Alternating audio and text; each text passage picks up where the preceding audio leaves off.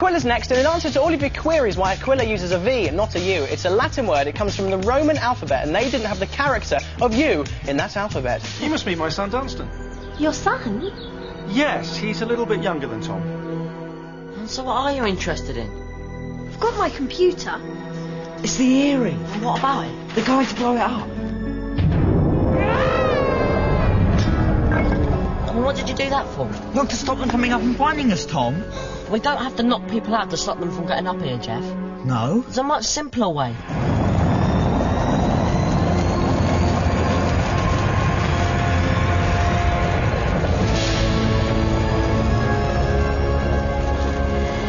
Was a bonus for doing this job in less than three days, wasn't it?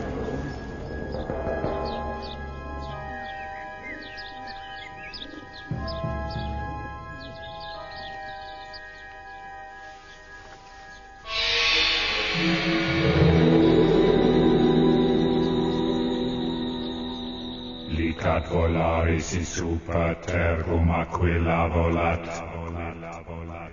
Licat volaris in super terrum aquila volat.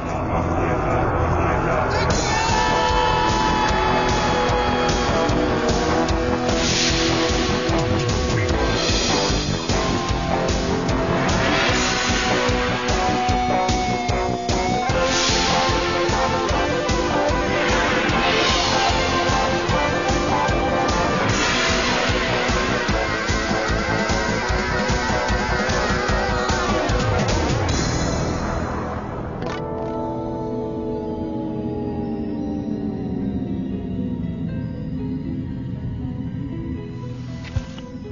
Not still worrying about it, are you? Yes, I am. What else am I supposed to do? If I see something like that, I'll worry. Listen, we've not come all the way to Mars. He knows, Jeff. He knows about Aquila. Very possibly. But it doesn't mean he can do anything, does it? I mean, if you think about it, what can he actually do? I don't know. Which is another thing that worries me.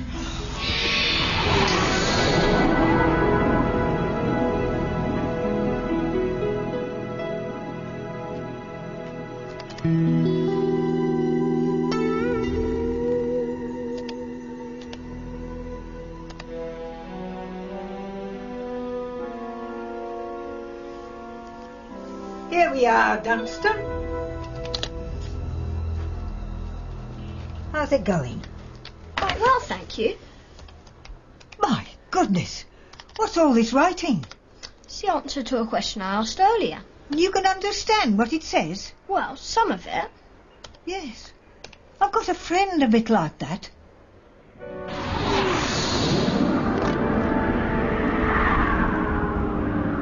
Then a red egg-shaped vessel emerged from the barn carrying two small creatures with round black heads. It's us, Jeff. He's talking about us. So he saw us.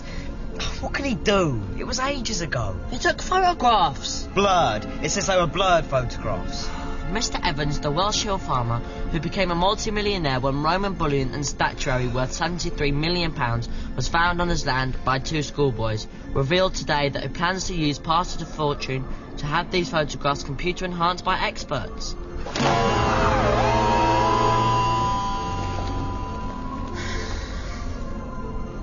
I'm sure, said Mr. Evans, that this will reveal more precise details of the occupants. I didn't read that bit.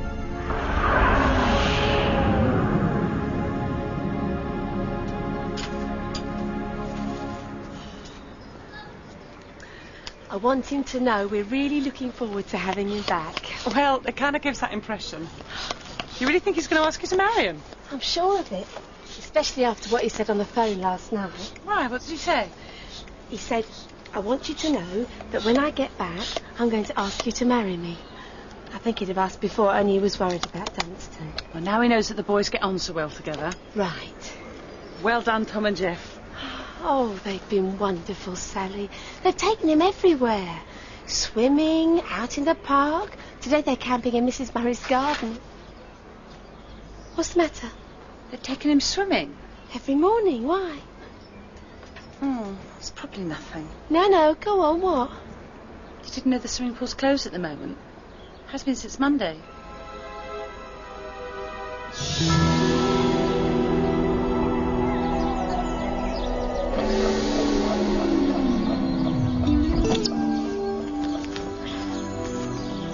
Are you coming?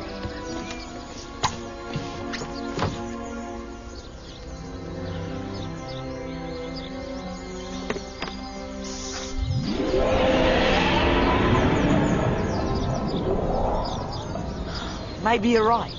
About what? If Mr. Evans does have photographs and someone can recognise us from them, maybe it'd be safer to do something. At last.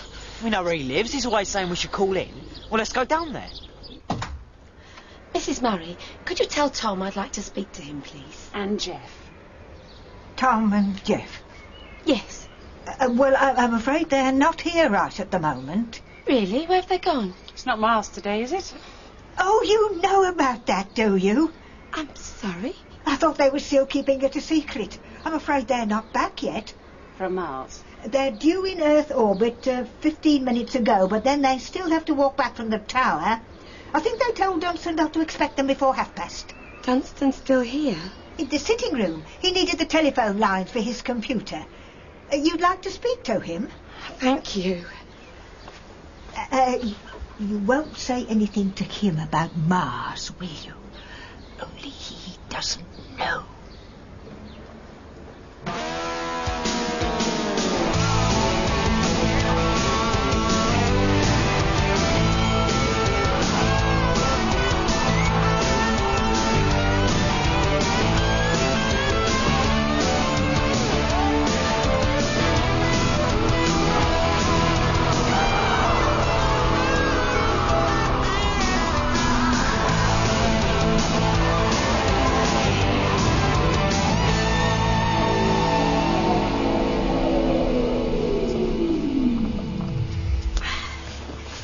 Okay, this is what we'll do. You get out and ask if you can talk to Mr. Evans, and I'll be behind you in Aquila. Hmm. You ask him about the photos, and while you're doing that, I'll use a lie detector to make sure he's not hiding anything. Hmm. Tom, Hmm? what are you waiting for? I'm not sure about this. Oh, for goodness sake, what's the problem now? Now, when did they leave this morning? It was about half past eight. And you haven't seen them since then? No. When they said you all went swimming together yesterday morning, that wasn't strictly true, was it? Well, We rang the pool. It's been closed for three days. oh. Dunstan, since you came to stay with us, have you been anywhere with the boys? Anywhere at all? Well, I didn't mind. I had my computer. It's difficult to describe. It's just a sort of sensation that something's not right. I don't believe you, Tom. We travelled halfway across the solar system with you moaning about how we ought to do something. And now we're here, you change your mind because you've got a feeling that something's not right. I know it seems strange, but it's It's definitely... called indigestion, Tom. You reckon? Oh, just get out and knock on the door, will you? We'll buy some Rennies on the way home.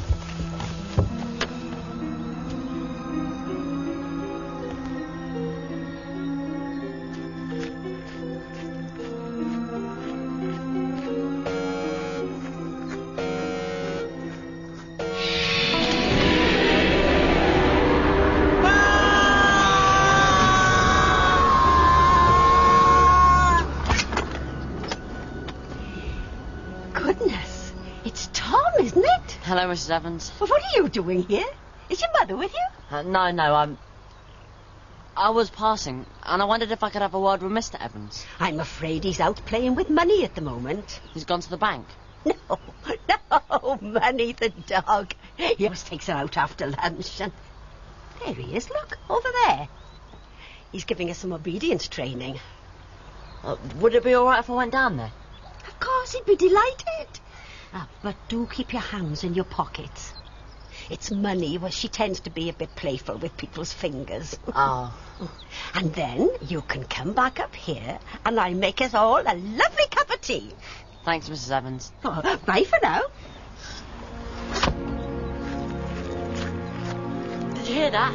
I'll walk down and you follow. Jeff? Jeff? Jeff?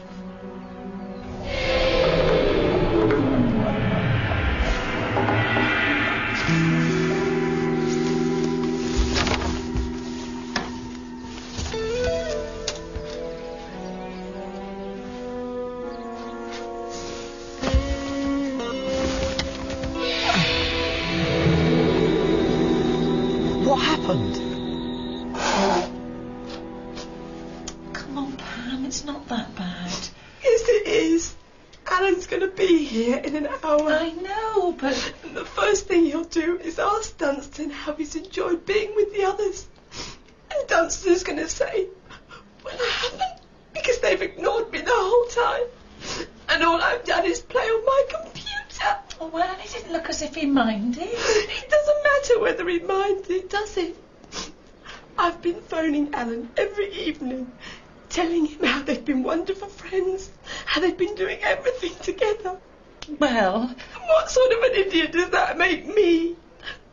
I wanted this to work, Sally. I really wanted it to.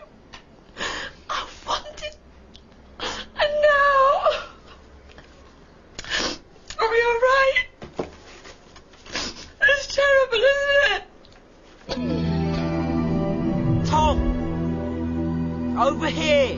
Where have you been? Back to the tower. I've been sitting here for 15 minutes. Have you any idea what it's like? Just stuck here while you just fly off. I didn't tell it to fly anywhere.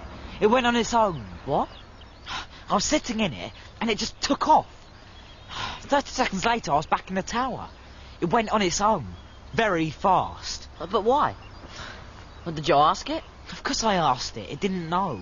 You need to use the memory egg, Jeff. You wind it back to when Aquila took off, and then you... I told you. I tried. It didn't work. Memory's missing. Just that bit. It's like... It's like somebody's taken it.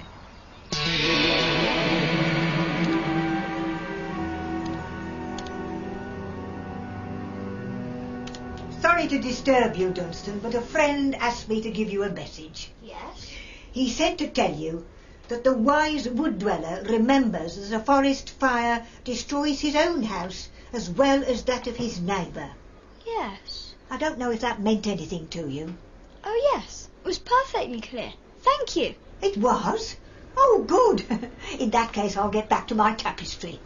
Miss Murray, Yes? who is the friend who gave you the message? I'll explain when you're a bit older. But if neither of us told it to fly anywhere, why should it suddenly just take off? Exactly. Right. The first thing we need to do is... Oh, grief. Do you boys know that this is private property? Technically, you are trespassing. You know that? And I have the right to. Jeff? Tom! Hello, Mr. Evans. well, what are you two doing here?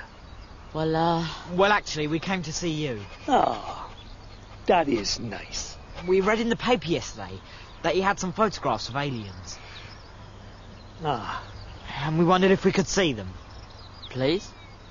I'm sorry, boys, but it's not possible. Why not?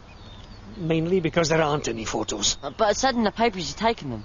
It said you'd seen some aliens in a spaceship. Oh, I saw them all right. It was a few days after you found that Roman centurion.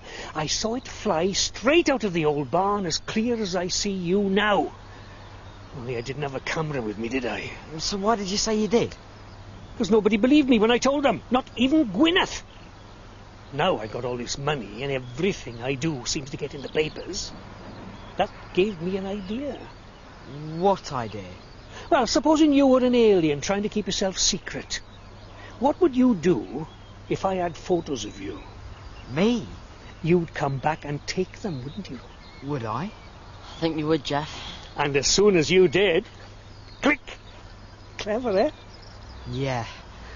I don't know if it'll work, mind.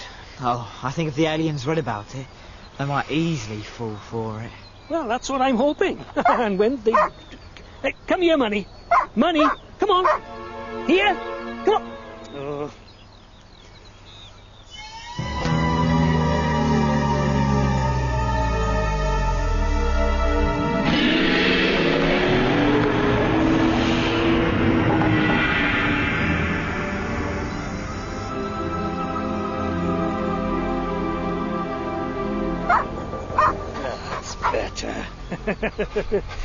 I don't know if you've ever seen one of these, called a silent whistle. We can't hear it, but the dog can. Only trouble is, you're never sure if it's worked.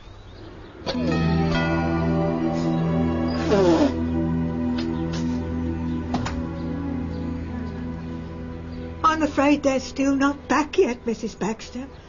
Maybe it wasn't such a good idea after all, letting them go off to Mars on their own like that. Mrs. Murray, I mean, we know the air supply was limited. Yes, but now they could be floating, lost among the stars, or gone to wait for us in another place. Mrs. Murray, could I have Dunstan, please? He needs to get washed and packed before his father gets here. But I thought that's what he'd gone to do. He's gone. Five minutes ago. Suddenly packed up his computer and said he had to leave. I thought he was... Oh, dear. I do hope he hasn't had an accident as well. Oh. Any more tea, boys? He was just locking money away safely. How's the hand feeling, Tom? Not too bad, thank you. Oh, that's good. I think when you held that biscuit up, she thought it was for her, you see. Mrs. Evans, we were wondering, could Tom and I borrow about thirty pounds? Why, whatever for? There's been a bit of a mix-up about our getting home. We have to take the train, but we don't have any money. So if you could lend We'd us... pay it back as soon as we could. Well, of course, we'll let you have whatever you need. But if you're going to change your plans like that, you'd better ask your parents if it's all right. Do we have to? If there's some reason why you don't want to go home with your young friend, Jeff, I quite understand. But I can't let you go running off on a train without letting your parents know, now can I? Our young friend? Yes, the boy outside. We have a friend outside. Here he is, Gwyneth. One more for tea. Dunstan. Dunstan? Hi.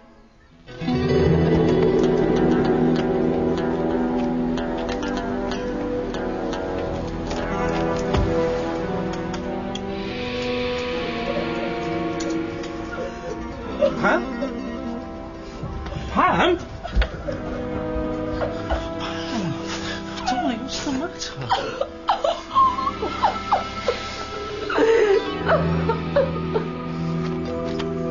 And we hope you'll all come back and pay us a proper visit sometime very soon. You make sure you do now. If you hadn't found that Roman centurion, we wouldn't have any of this, would we, Hugh? Oh, that's right. Which is why, before you go, and I hope you won't mind, I'd like to give you this. There. You take it. And you watch him, mind? Half of that is for you, remember? No need to thank me. It's the least we can do. And so you don't feel left out, Sonny? There's something for you, too. Now we're all happy. Thank you. Thanks. Thanks, bye. Bye. Bye. Bye. Bye. Bye.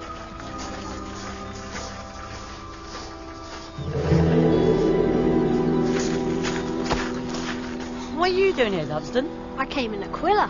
Aquila, you've got Aquila. It's at the bottom of the drive. How do you know about Aquila? And how did you know we were here? And how did you know we needed rescuing? Well, it's a long story. And then I realised everything I told you on the phone about how the boys were getting on so well and always playing together. It wasn't true. Really? I mean, I thought it was true. They went off together every morning. But now it seems they were just completely ignoring Dunstan. He's been stuck on his own and he's been so miserable. Are you sure about that? I think it's because he was so upset that he ran away. I only asked because, well, to be honest, he doesn't look very miserable.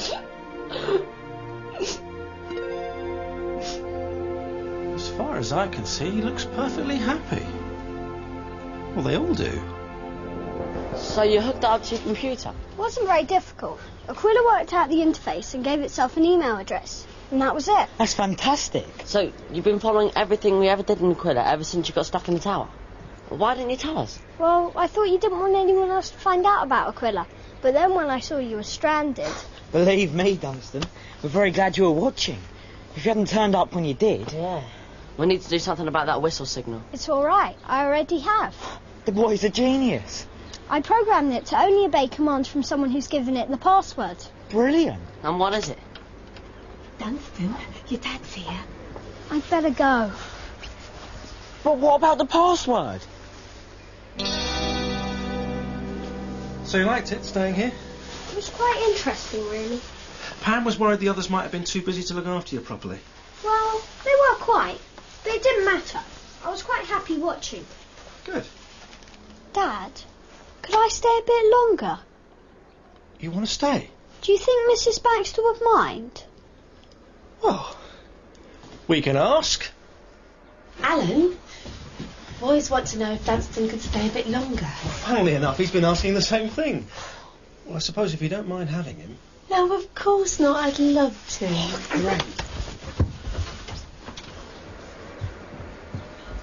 Back with tea at five, remember? No being late this time. Well, they're certainly not ignoring him now. No. In fact, it looks to me like those two aren't going to let him out of their sight.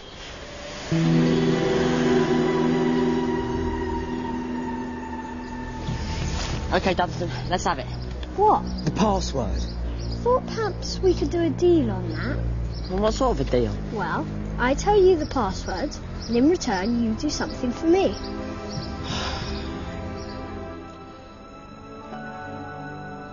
It was just something I saw. Oh, It's beautiful. I mean, if you don't like it, I, I can always. No, no, no. It's perfect. I was just wondering what I could possibly give you in return. You don't have to give me anything. Because it would have to be something very special exciting. But don't worry. I'll think of something. Information. That's all you want? You want to ask it then? Yes. You don't want to fly? I told you, I hate travelling anywhere. I always get sick. You just want to talk to it through your computer? Well, strictly speaking, it's not Aquila I want to talk to. Its resources are considerable, but the memory storage on the mothership is even bigger. Hold it, hold it. What? The mothership. I'm sorry, I thought you knew. Aquila is the lifeboat from a Eurylian battle cruiser which was, was... destroyed 6,000 years ago. Yeah, we know that. wasn't exactly destroyed. I mean, everyone was killed, but the ship's fractal core was still 47% viable, and that was more than enough to start doing the repairs. It's actually been repairing itself. For the last 6,000 years. And it's just floating around up there now. Right. And according to my printout of the plans, Deck 44 has destroyed these portable communication units. I thought if you could fly out there and get one, it would mean I wouldn't have to patch for Aquila. The ship is close enough for us to fly there. It will be. It's on an elliptical orbit that should bring it close enough to Earth about once every two years. And all you want's one of these communication thingies. Well, yes, that's all right. I think we might go with that. Don't you? A battle cruiser. Up there. You could have some serious fun with a battle cruiser.